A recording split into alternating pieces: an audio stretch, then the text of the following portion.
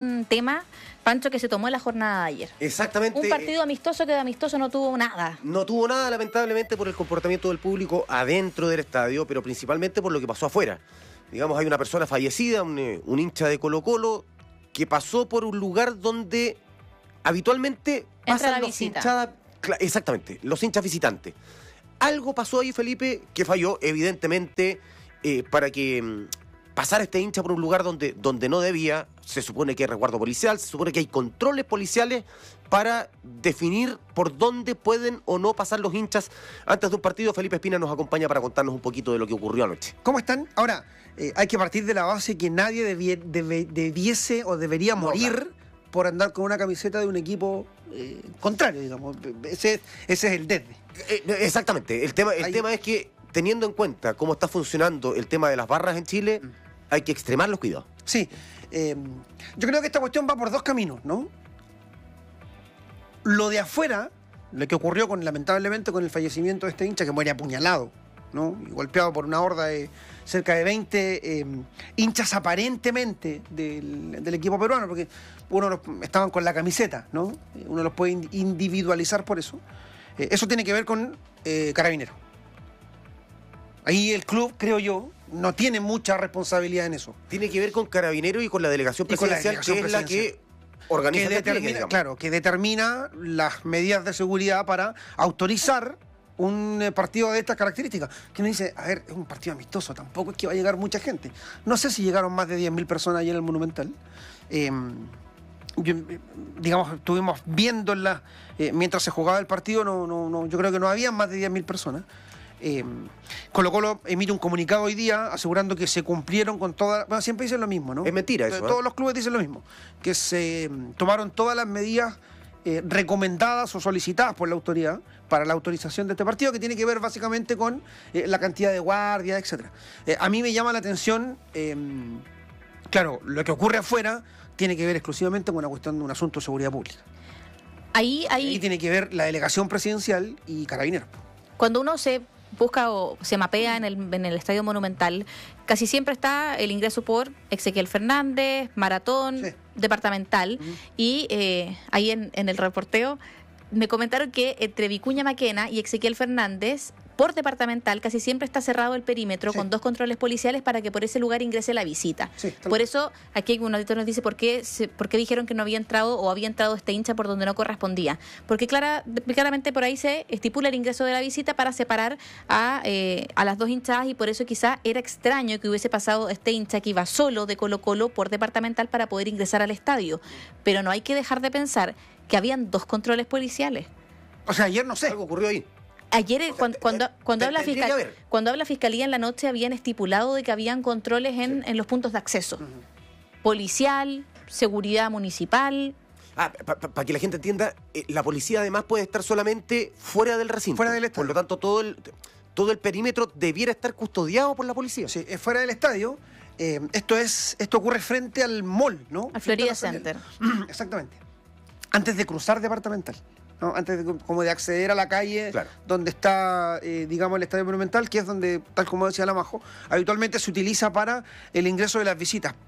La- eh, digo, eh, o sea, no lamentablemente, no, no debiese pasar, ¿no? No, no debiese existir. Esto, obviamente, es, un- es, una, es una cuestión ideal. No debiese existir la separación de la hincha. No, no, claro, pero- Lamentablemente aquí pasa y ha venido pasando, no sé, hace 30 años que venimos escuchando desde el nacimiento de estas Desde el año tan- 89, bastante más. del, del nacimiento de estos de- seres detestables que son los barra. Sí. Porque son detestables. Eh, digamos, no, no, eh, cuando ellos dicen somos el, eh, el espectáculo, mentira. Mentira. Si tienen No, que entender no, de una vez por todas que el espectáculo no está afuera, está adentro. Además, el, el- el- el problema se ha ido agudizando con la presencia del narcotráfico Sí. al interior de las barras eh, y, y pasan cosas como las que- vivimos ayer. Estábamos hablando de lo de afuera.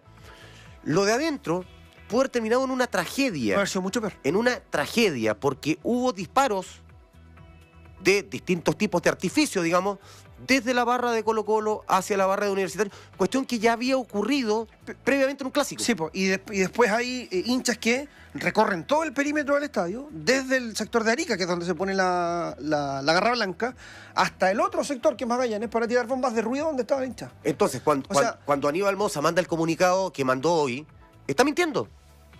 Descaradamente mintiendo porque O sea, no se cumplió nada. No, ellos dicen que tenían todas las medidas y que igual así fueron vulnerados.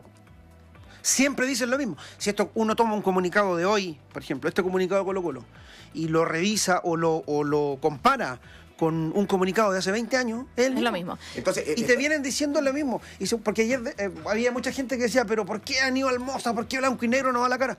Pero si te van a decir, podía ocupar una cuña de hace 20 años y es exactamente Ya, pero la el- misma. pero es distinto. El problema, a mi parecer, radica en que la seguridad por fuera corresponde a Carabineros. Sí, Por claro. Por dentro, la seguridad la tiene que Es garantizar El club organizador. El club organizador. Si me dicen que entraron bombas de ruido, fuegos artificiales, que se dispararon otro tipo de artificio, que habían personas que tenían cuchillo, porque hay que decirlo también. O sea, de todo. Y el club, el club no puede decir que solamente se vulneraron las medidas, porque quizás no existían esas medidas.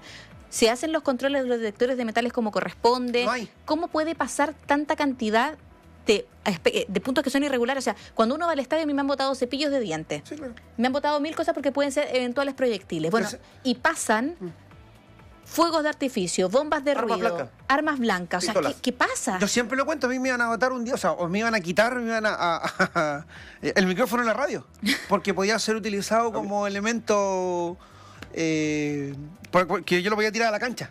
Sí, claro, que hasta termos me han quitado cuando nosotros vamos a una, a una caseta, digamos. Ahora, eh, y por eso era importante escuchar la voz de la delegación presidencial. Porque si Colo Colo dice que se cumplieron todas las medidas, Habría que saber las cuáles medidas son nefastas. o qué le pidieron. El tema es que la delegada presidencial, cuando hay problemas con el fútbol, habitualmente decide no hablar con nadie, no explicar nada.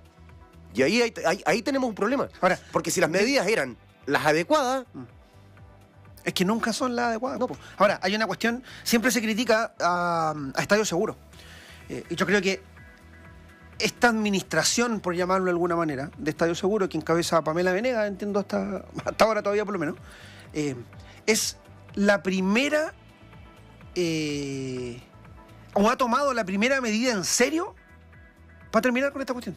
que el El control de- Es el, el registro, nacional de hincha. hinchas. Y son los propios clubes los que han ido chuteando esta cuestión.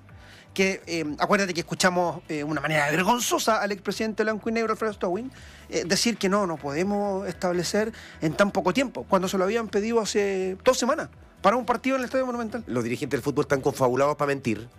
Todos.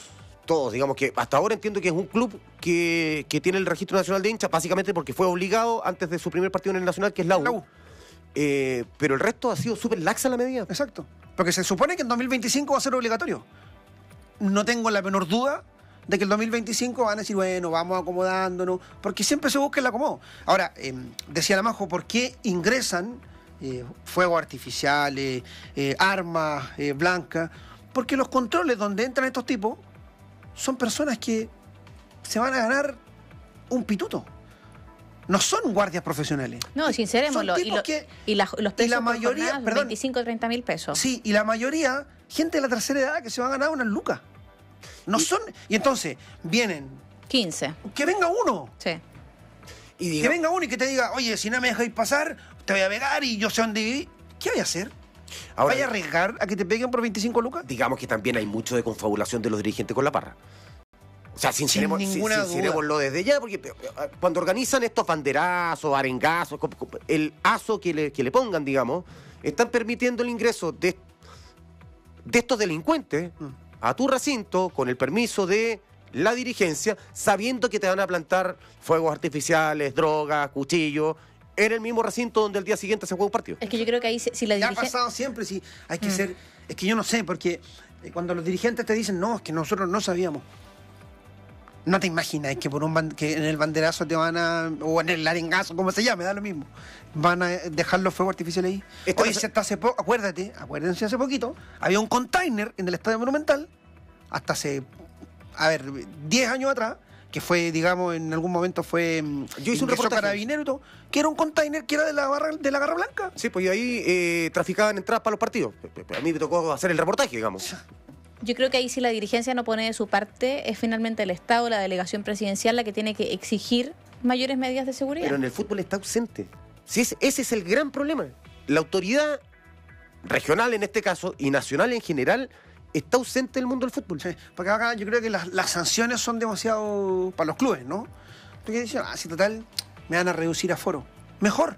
Porque men- mientras menos gente tenga yo en el estadio, es, la se- es, digamos, lo, lo que piensan, creo yo, los dirigentes de la sociedad anónima. Mientras menos gente me dejen eh, entrar al estadio, menos guardias, pues. Menos gasto. La operativa de abrir un estadio para 10.000 personas es mucho más barata que la operativa para abrir un estadio para 45.000 porque necesitáis menos guardia. Entonces, yo siento que para los clubes grandes, mientras más restricciones haya de público, para ellos es mejor. Porque es más barato abrir el estadio un día de partido. Digamos que eh, eh, el partido de ayer fue en la noche eh, y colocó el próximo desafío que tiene es por Copa Libertadores, partido nocturno también. Eh, habrá que ver cómo reacciona la autoridad, si cambian las medidas, si es que hay algún tipo de sanción. Cuando no- mientras no existan sanciones de verdad, esto va a seguir así. Registro biométrico, ustedes que están en el mundo del fútbol, ¿lo ven posible dentro de los próximos es que, meses, es que- años? es que se ha hecho. En, en- en partidos de la, a mí me tocó ver en partidos de la U registro bio- biométrico. El tema es que al único club que se lo pidieron absurdamente fue la U. La Católica lo implementó el año pasado a modo de prueba en un partido Santa Laura. y funciona. Y funciona. Si lo que uno no se explica es que no se haga extensivo al resto de que los no se estandarice. po. Que no sea obligatorio. po. Y, el, y el equipo, espérate, y, y tiene que ser tan, eh, digamos, eh, la norma tan clara. A ver, blanco y negro. No tiene registro biométrico, no puede jugar. No puede jugar. No puede jugar su partido.